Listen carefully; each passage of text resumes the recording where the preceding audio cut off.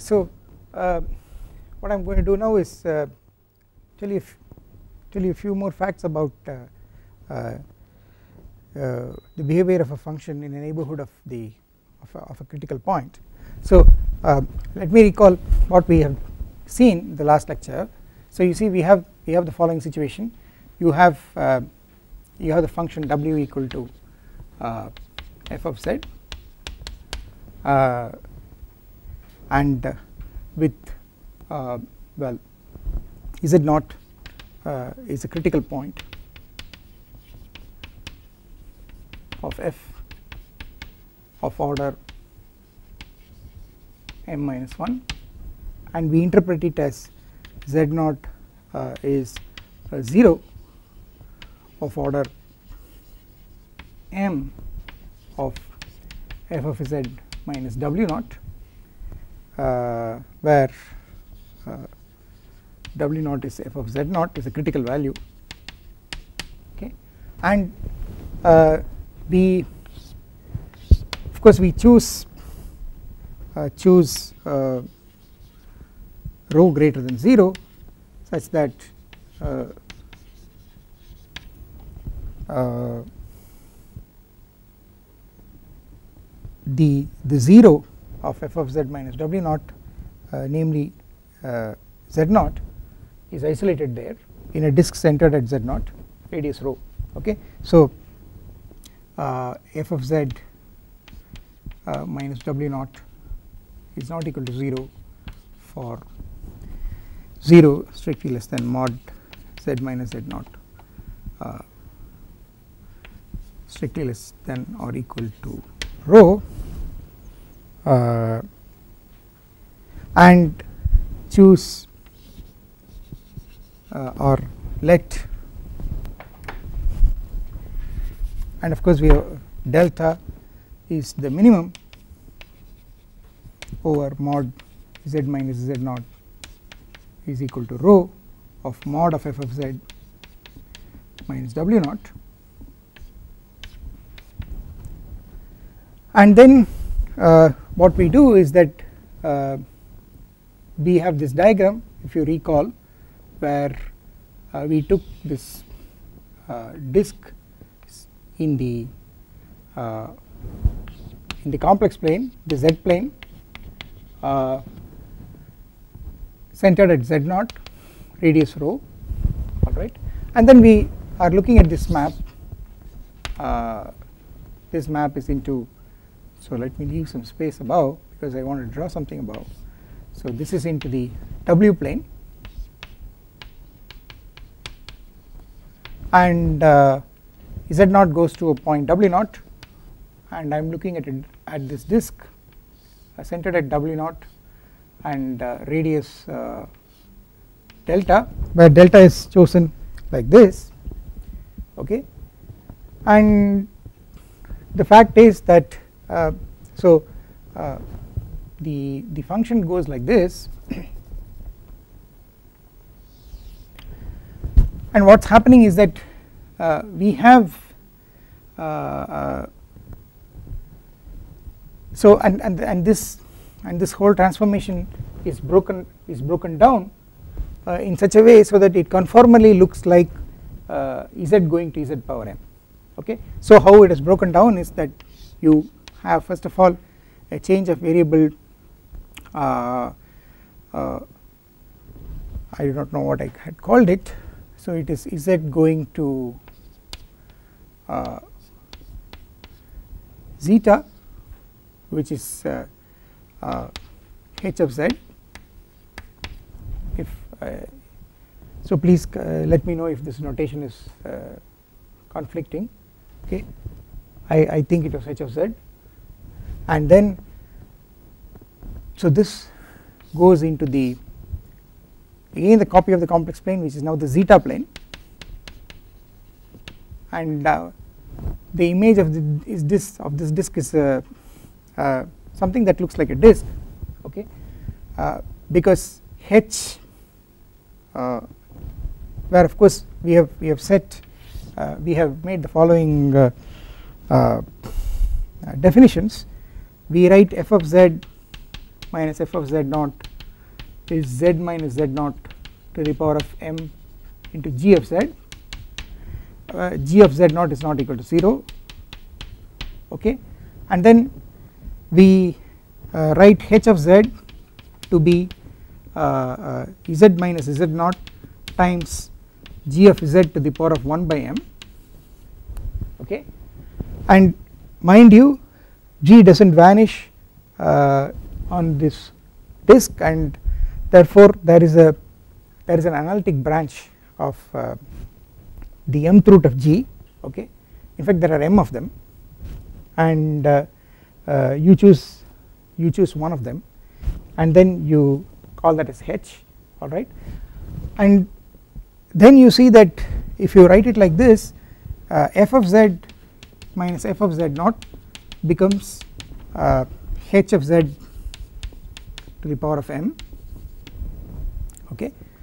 And uh, so what you do is that you first go by h then you uh, uh, z naught goes to the origin because h of z naught is 0 alright so it z naught goes to the origin and the image of uh, this disk is going to be uh, well you know something that looks like a disk conformally. So you know uh, I'm, I'm drawing something like this okay? But I'm taking a uh, I am taking a small enough disk there. And uh, well and from here to here I make one more uh, I, I, I, apply another function uh, which is zeta going to zeta power m which is eta okay and you know this will go to uh, uh, this will take the disk centered at the origin to the same disk uh, centered at the origin except that uh, probably uh, the radius of the disk will get you know uh, diminished or enlarged depending on what the radius here is alright whether this radius here is less than 1 or greater than 1 but in any case it will go to a disk centered at the origin and uh, uh, now this function is uh, a function that we know very well. This is the power function. Z going to z power m? Of course mind you m is m is greater than 1 I am at a critical point. Alright m is greater than 1 and uh, you know that uh, how uh, you know that uh, uh, uh, you, we have studied this already. And then to get from here to here so so if you come all the way from up to here it is h and then now here it becomes h power m. But h power m is f of z minus w naught alright. So to get f of z I just have to add uh, w naught to it. So the transformation is eta going to eta plus w naught. That is a transformation. It is just a translation okay? So this disk will get translated to this okay? So uh, so the and uh, uh, well if you look at this picture now uh, it is clear that uh, uh, if I uh, so you know there are there are m branches of so if I take the inverse functions here the inverse function will be w going to w minus w naught. That will be the inverse function here. Alright and uh, which is of course eta okay. And here the inverse function will be uh, uh, eta going to eta to the 1 by m. Okay. Which is uh, which has several branches. It has m branches. Okay. And then of course from here to here there is a unique inverse function and that is just h inverse. Okay the derivative of h does not vanish. Uh, you can check that the derivative of h does not vanish and uh, uh, so uh, H inverse comes because of the injectivity of H and the inverse function theorem. So you know if I compose all the way here the inverse function is unique here the inverse function is unique because it is a translation it is an isomorphism. This is also a holomorphic isomorphism because it is injective so here the inverse is here the here the inverse is unique here also the inverse is unique. He, the inverse is not unique in this in here. Because there are m there are m branches. And each of these branches if you follow it with this forward function you will get the identity here okay. So the moral of the story is that you get functions uh, you get several functions that uh, uh, uh so you get so you know uh, when I have to define a fractional power okay eta to the 1 by m is exponential of 1 by m log eta so I will have to get a fix a principal branch of log alright? And of course I have to forget the origin okay? And to fix a principal of uh, to, to get a function that is uh, uh, analytic what I will have to do is I will have to cut out uh, the portion of the negative real axis okay. So in this disk minus this portion of the negative with the portion of the negative real axis removed each of these functions eta going to eta to the 1 by m are analytic therefore if I compose it what, what it will tell you is that you know if I take the uh, if I take the uh, corresponding uh, slit disk here centered at W naught then uh, the resulting functions will be analytic okay. So you know I will get functions like this these functions are going to be zj of uh, they are the zj's uh, of W okay? And they satisfy the property that this followed by this is the identity here okay? Fj fj uh, f of zj of w is equal to w. For j is equal to 1 2 etc up to m. Where the zj's are the uh, uh, for so what are these edges? I mean if you start if you start with a value w here okay then uh, this value w is assumed by f uh, at uh, m points counted with multiplicities. And it is those m points which are called as z1 w z2 w and so on up to zj w. uh, up to zm w okay so you know this so the you get points here m points counted with multiplicities and these points are the zj of w and they depend they will change as w changes. So for every point here you get m uh, points here which go to that point. So this function f is a m is to 1 mapping or outside uh, z naught of course z naught goes to w naught okay and no other point goes to w naught. But the point is z naught goes to w naught, w naught with multiplicity m. Okay because that is what it means to say that z naught is a 0 of order m of f z minus w naught. Okay f assumes the value w naught which is f of z naught with a multiplicity m. Okay so uh, these so for any any w here you get m uh, values of z. Okay and these values of z are such that when you plug them back in f you will get back the w. Okay? So in other words these are solutions of w equal to f of z. You are you are solving from, from the equation w equal to f of z you are solving for z. Okay. So you, you must think of this as uh, these are inverses uh, of f inverses in the functional sense. Okay that is the reason I put a bracket to the minus 1 on top. Because strictly speaking f is a many to one function it does not make sense to talk about as a theoretic inverse. But these are functional inverses alright? Just like you know it's it's the same idea for example uh, when you have uh, uh, the exponential function uh, the inverse functions are the log functions. But uh, the exponential function is not one to one it's many to one okay? But then we but log is functionally an inverse to the exponential because it undoes the uh, act of it the exponential function. Similarly when you take the mth root function the mth root function is the functional inverse of the function which takes everything to the power m okay? A function which takes everything to the power m is not a 1 to 1 function. It is a m to 1 function again except at the origin alright. So but to undo the operation of taking something to the power m you have to take the mth root okay? So functionally it is an inverse.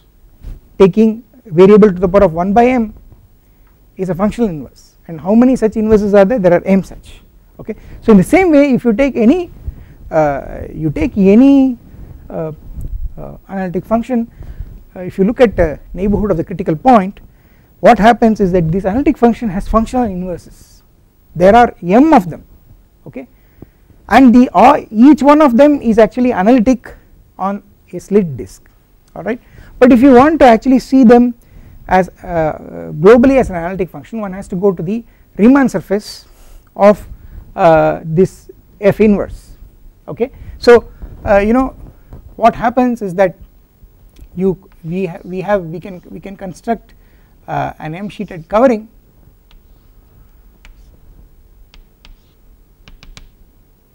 Uh, so I will draw it like this and so on.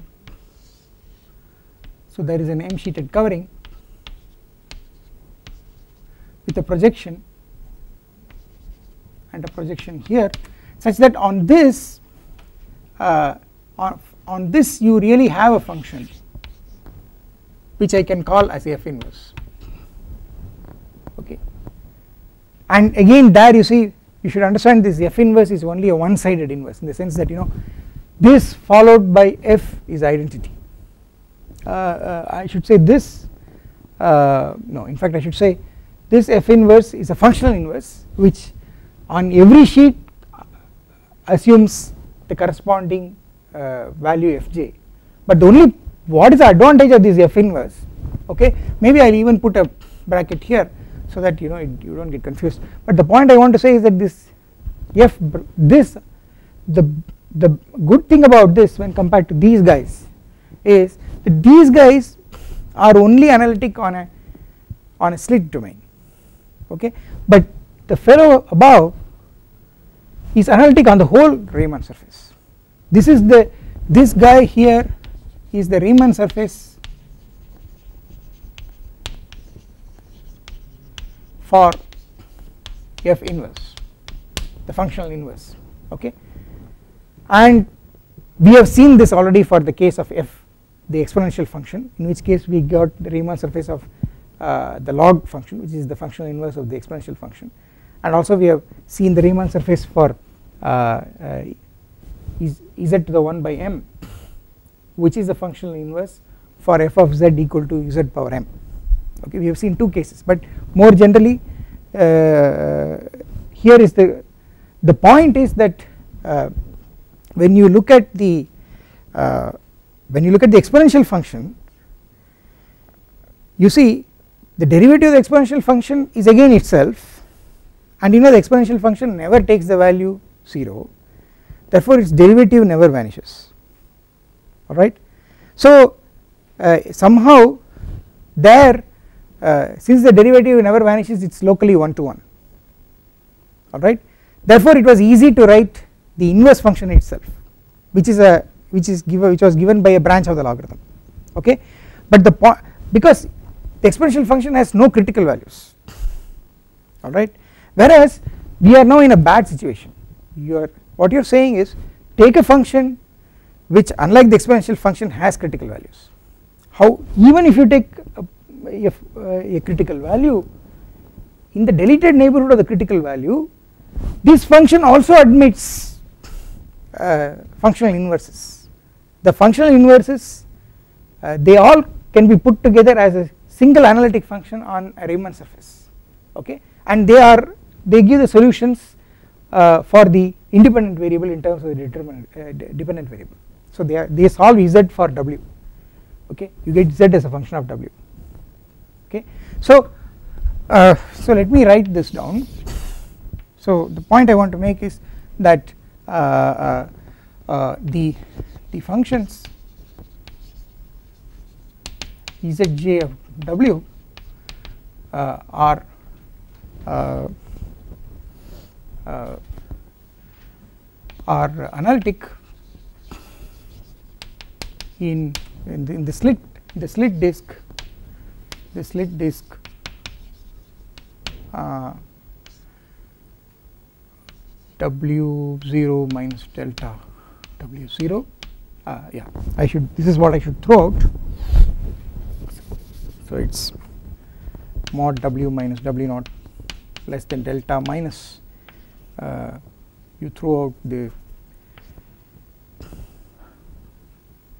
the portion parallel to the negative real axis uh, from the to the left of and including the center w naught. So it is going to be uh, w naught minus uh, delta w naught. So this is the line segment uh, from w naught minus delta to w naught with uh, the right end point w naught included and the left end point w naught minus delta not included. And this is what you are throwing out from this disk to make it a slit disk.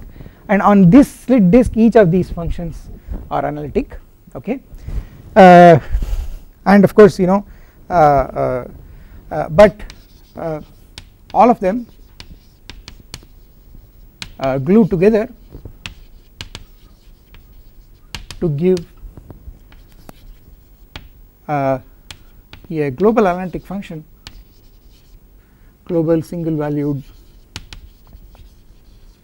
analytic function function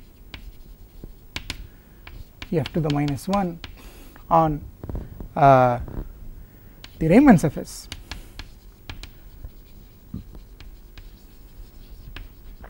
For uh, for f to the minus 1 okay? And the Riemann surface is you know is obtained by pasting uh, carefully the upper.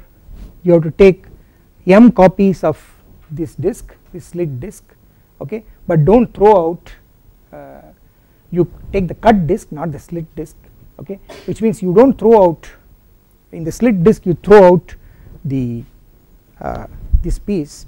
But now you do not throw it out. You just cut it and you do a cut and pasting process where the portions above uh, the line segment uh, in one disk are joined to the line segment and the portion below in another disk and you do this repetitively okay? And then the last disk you paste it with the first one okay? This is something that is very hard to visualize in 3 space okay? Uh, but then uh, you can do this and you get a surface a Riemann surface that is the Riemann surface. On that Riemann surface these uh, uh the you get a function which is on each piece that you have pasted equal to the corresponding zj. So on the first piece it will be z1 and as you move to the second piece which has been pasted to the first piece the function becomes z2 then as you move to the third piece it becomes z3 and so on. Okay? And of course the last piece is connected to the first one alright. So uh, you finally get one single function which I call as uh, uh, uh if you want one can call it as z equal to f minus 1 w w hat okay? And why I am calling this as w hat is because this w hat is a is a point above uh, the point w below okay? So you get a function on uh, it is not a function here it is a function there alright? It lives as a function on a Riemann surface right? So it is nice to see that uh, uh, you are able to even at a critical point you are able to get inverse functions. That is the whole that is the uh, that is a beautiful thing that you have to notice okay? Even at a critical point you are able to get inverse functions. Functional inverses for your function you are able to get okay? Now what I want to say is that uh, I want to say more. I want to actually say that these uh, these these functions are actually solutions of uh, a polynomial equation okay? Uh, they are solutions of a polynomial equation whose coefficients are analytic functions okay? And it's a that's a very deep fact. Uh, and uh, so so let me explain that. So let me let me do the following thing. Uh, consider uh, the functions the the the symmetric functions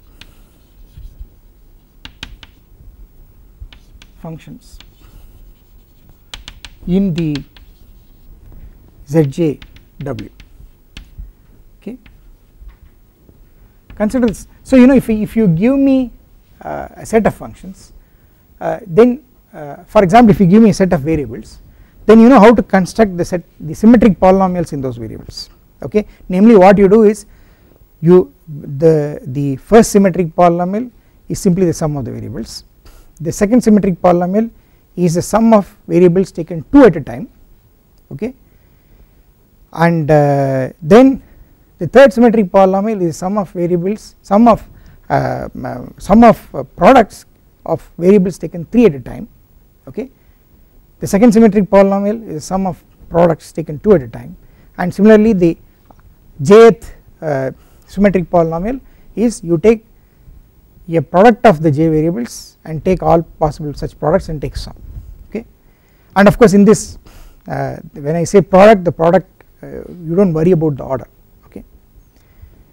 The variables are assumed to commute right. So uh, in the same way if you give me any set of functions I can construct symmetric functions from the given set of functions. By looking at the corresponding uh, uh, I, I, use the same uh, method uh, I use the same definitions that I use to construct symmetric polynomials uh, in a given set of variables. Only now that I am thinking of the functions as variables. So what will be S1 S1 of uh, uh, Z1 uh, S1 of Z1 W etc ZMW the first symmetric polynomial will be just the sum of the ZIW or ZJW okay uh, of course j equal to 1 to m. So the first symmetric polynomial in m variables is simply the sum of the variables alright. The second symmetric polynomial in these will be now you have to take sum of products of variables 2 at a time. So it will be in the form sigma z j1 w z j2 w where j1 is strictly less than j2 okay. This is the second symmetric polynomial and so on you can define the uh, well uh, the rth symmetric polynomial.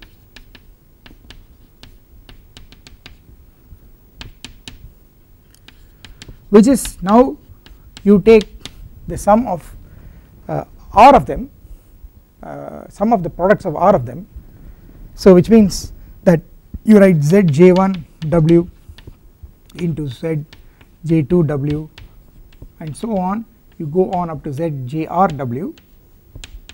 You take r of them take the product and then you take the summation over all possible uh, such uh, uh, r indices okay?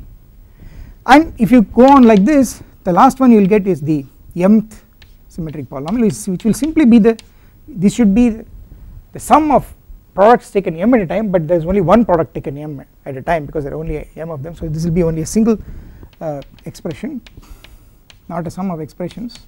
It will be a single product. This will be just product of it will be just the product of all the zj of m over j okay. So you get these are the m symmetric polynomials in all the zj's okay? And uh, what is a property of the symmetric polynomials? This property of the symmetric polynomials is that uh, uh, property of a symmetric polynomial in these m variables is that if you change the variables by permutation the value of the polynomial does not change. Okay? So uh, that is what symmetric polynomial means. Okay? It is invariant under the action of the symmetric group. Alright uh, for every sigma in Sn. So S uh, so you know I will uh, okay so let me use uh, uh, let me use let me use small s because it's it's better so that I can use capital S to denote the symmetric group group okay which is just set of group of permutations permutations of n symbols m symbols. It is a set of all bijective maps uh, from a set of m elements back to itself okay? Which is a group under composition it is a symmetric group. And you and uh, the point is that SR of uh, if you take sigma x1 etc sigma xm is the same as SR x1 etc xm. Okay? You apply you, the value of the symmetric polynomial does not change if you substitute for a variable for the variables a permutation of the variables. And that is the reason it is called a symmetric polynomial. Okay? And uh, fine and what is the advantage of uh, looking at uh, these symmetric polynomials? You see the way I have de defined them these are also functions of w. Okay these are also functions of w. And of course uh, they are all they are all built by taking products and then taking sums. So all these all these fellows they will all be certainly analytic functions on the they will all be analytic functions on the slit disk. But the big deal is that they are not only analytic functions on the slit disk. They are actually analytic functions on the whole disk. That is the amazing thing okay? So uh, the so here is a fact. All uh, uh, each or each S R of uh, Z1 W etc Zm W is analytic in the whole whole disk. This is the this is the amazing fact okay? And uh, so uh, let us uh, let us grant this fact for the moment. Then what does it say? It says that it says the following thing. Uh, so so consider uh, the consider the uh, polynomial uh, z minus z1 m z1 w into z minus z2 w and so on z minus zmw. Consider this polynomial. This is a polynomial of uh, degree m okay whose roots are these m functions I mean whose zeros are these m functions this polynomial becomes 0 whenever z is one of the zi's okay. So the zi's are uh, roots of this polynomial alright uh, uh, of this uh, the zeros of this polynomial alright but then if you expand it out the coefficients will come out to be as you would have seen in any course in algebra the symmetric functions up to a sign alright. So what you will get is this will become z power m plus minus 1 to the power of m minus 1 uh, uh, uh, s uh, s1 of uh, z1 of w etc Z m W plus minus plus minus 1 to the power of m minus 2 s2 of z1 of w and so on. Zm of w. And so on it will end with the constant term which will be uh, uh, it is going to be minus. I have to worry about uh, I have to worry about my my signs. In this case it is going to be I choose uh,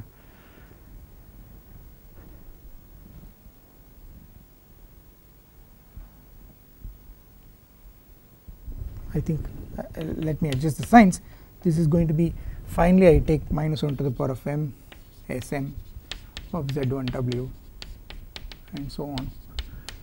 Zmw only thing is I will have to take the sign. For example uh, and I have, I have to add the coefficients also. So here I want z to the m minus 1 so which means I how do I get the coefficient of z to the m minus 1 I take I choose m minus 1 uh, of these uh, to be just z. And the remaining one I choose it to be minus uh, uh, of a certain zjw and then add it. So I will get a minus here. So it will just be minus and uh, here I will get a plus probably. So this will be a minus. This will be a plus. And it will keep on alternating like this. Right. So this is what I get. So uh, um, and, and here I should of course put z to the m minus 2 right I should put z to the m minus 2 and so on. Uh, the, and this is the constant term. This is the constant term which is simply the product of all the uh, ziw minus ziws okay. So this is what you get. Okay. Now uh, so what what did I just say? I said that you see uh, the the ziw are zeros of this polynomial. But what is this polynomial? It is the same as this polynomial. But what are the coefficients now? The coefficients are s1 s2 etc sm up to sign but what did I say about s1 s2 etc up to sm they are all analytic functions. So the m these m functional inverses for f are actually zeros of a polynomial uh, with coefficients which are actually analytic on that disk on the target disk. That is the fact that I want to say okay? So and it is uh, thus the uh, the solutions to Z uh, for uh, W equal to f of z uh, are the zeros of a polynomial with uh, analytic coefficients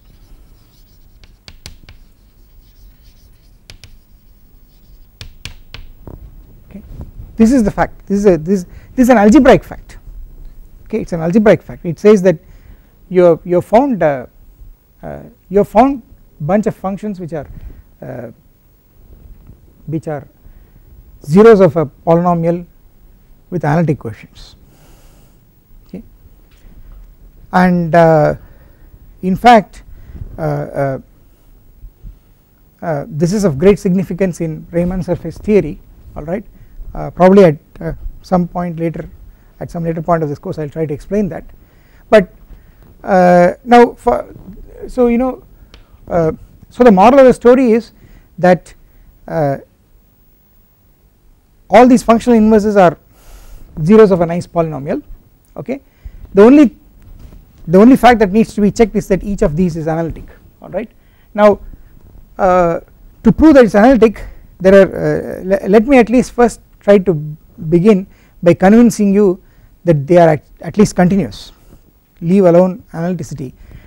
See the problem is you know uh, if you go back these functions uh, they will uh, you know if you if instead of throwing out this this ray okay if you keep it but you cut the portion of the disk on the ray and below it and separate it from the portion of the disk above it then on that they will become continuous. They will become continuous. It is just like the log function. You take a branch of the logarithm. The branch of the logarithm uh, if you take the principal branch of the logarithm for which the imaginary part is a principal argument which varies from values starting from minus pi and going all the way up to values strictly less than plus pi if you take that as a function the principal branch of the logarithm then you know the real part is always continuous because it is the natural logarithm of the modulus of the complex number which is which is a continuous function. The problem is only the, the imaginary part which is the argument. And what is the problem? The problem is that you know if for all points on the negative real axis and below the negative real axis the the principal argument is uh, uh, you know is greater than or equal to minus pi okay? Whereas for a point just above it above the negative real axis the argument is close to plus pi and lesser than plus pi. So there is a jump of almost 2 pi on the negative real axis and therefore uh, you have discontinuity on the uh, at every point on the negative real axis so suppose I separate the points of the points of the negative real axis above uh, uh the points of the plane above the negative real axis from the negative real axis and the points below okay? By separating it I am saying that you know the points above the negative real axis are not close to the points on the negative real axis and the points below. That is what this cutting means. Okay? And when points are not close I do not worry about continuity. Uh, continuity I worry about only when points are close. Okay. So once I cut it if I try to check continuity at a point on the negative real axis I am only going to check in a neighborhood uh, in a disk half disk which lies in the negative real axis and below it. I am not going to worry about points in the uh, in the in the in the half disk that lies above it alright. So so you know if I cut this uh, instead of deleting it if I cut it okay then these fellows are going to be continuous okay? But then uh, what happens as you go across uh, uh, across the negative real uh, across this line segment if you go from below to above. What happens is that the zj uh, the values of zj will change from zj to zj plus 1 okay? Depending on whatever your ordering is either they will go from zj to zj plus 1 or zj to zj minus 1 depending depending on the way you wrote it. Okay? And that is because the function itself changes. And what you do is you cut and paste these various copies m copies of this uh, of this uh, cut domains not the slit domains the cut domains to produce this Riemann surface in such a way that as you cross the uh, this this ray on one piece okay the function zj changes to zj plus 1 which is the function on the next piece okay and that is the reason why all these functions agree and they become a continuous function on top okay. So the moral of the story is that uh, as you the problem is with the problem is with uh, points on uh, this ray for each of these functions okay? What is the problem? As you move across that ray the zj will become some other uh, zj plus 1 or zj minus 1 alright? But if you look at the symmetric functions okay and you do the same business you see the symmetric functions will not be affected. Okay? For example you know if I take the sum of all these zj's and if I take if I take the w and move it across if I move it across this ray okay that I if I move it across this ray what will happen is each zj will be replaced by the corresponding zj plus 1 okay? Each zj will uh, will become uh, the corresponding zj plus 1 okay? And but then the sum will remain the same. Okay? So what I will get is instead of getting z so you know if I start with so uh, so let me if you want let me let me even draw it so that you understand what is going on. So here is my ray this is my w naught and you know suppose I start at the w here w1 and I move across this ray and go to w2 okay then what will happen is that you know zj uh, uh, limit w tends to uh, uh so I I will put keep this as w and let me call this w prime. W tends to w prime of zj of w. What you will get is you will get zj plus 1 of w. You will get this. This is what will happen. Okay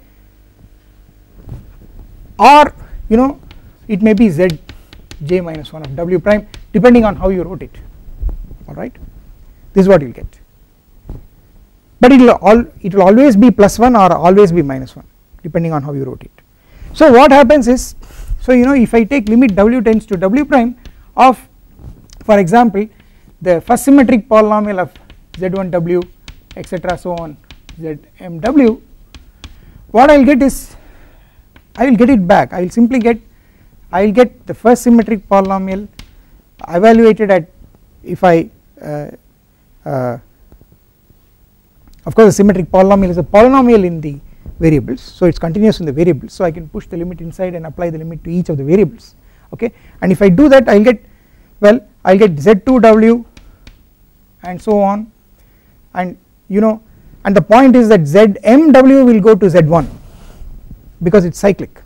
Alright? So it will go on at some point I will get zmw and then I will get zm plus 1w or I will get the other way around the index may come down it may be uh, uh, zmw z1w and so on zm minus 1w this is what I will get. But both these are the same as this. In any case both are equal to S1 of Z1W and so on ZMW they are the same. Because after all the S1 is supposed to just add all of them.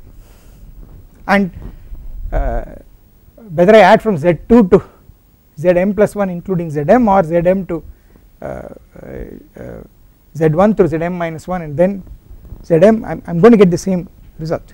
Okay. So what this demonstration tells you is that uh, the value of S1 uh, of the first symmetric function of these m uh, functions that that that value does not change. Okay.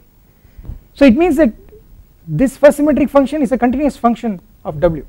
Uh, and of course you know I will have to put uh, I have to put w prime since there is a there is here these are all primes. These are all primes and so these are also primes. Okay. These are primes. So the moral of the story is the symmetric function will not be affected. And I have written it down for the first symmetric function but you know for all the symmetric functions this is going to happen. Okay? What is going to happen is when you when you cross the troublesome ray okay the symmetric functions are only going to be permuted by a permutation which is given by shift in the index alright and but when you make a permutation the symmetric function is not going to change. The value of the symmetric function is not going to change because it is invariant under permutations. Therefore what is going to happen is each of these SIs each of each of these SRs they are all going to be continuous even on the even on this even on this ray. Okay? Okay? And therefore you can now believe uh, it is very clear that each SR is uh, therefore certainly continuous on this uh, on this disk okay?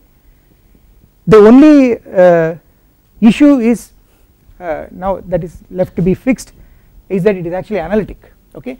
And the fact that it is analytic uh, can be for example seen by what is called the principle of analytic continuation okay? Which is what I am going to discuss in the forthcoming lectures. Okay. So I am going to next go on to discuss analytic continuation and the so called monodromy theorem alright and it will follow from that discussion each SR is not only continuous as we demonstrated it is actually even analytic okay.